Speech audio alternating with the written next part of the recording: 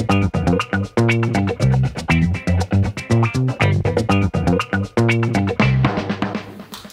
guys, Coach Jon here. Here's another episode of your Daily Skills Challenge brought to you by Boost. Today we're going to learn how to do the Cruyff turn. Alright, the skill is made famous by Johan Cruyff, Dutch international player.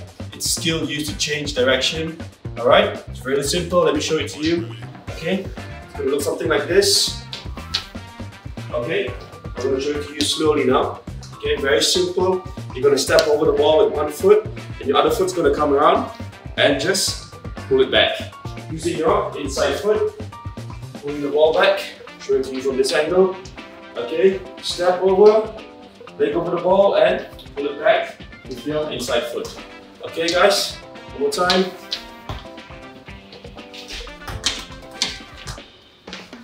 Okay guys, so that's a skill. Hope you guys go back and practice. Stay tuned for the next episode.